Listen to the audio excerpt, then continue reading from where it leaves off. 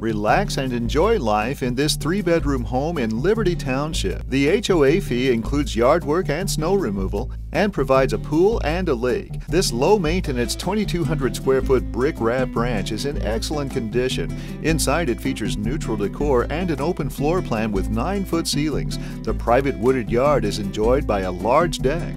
Brian Jones would be happy to set up a private tour at your convenience.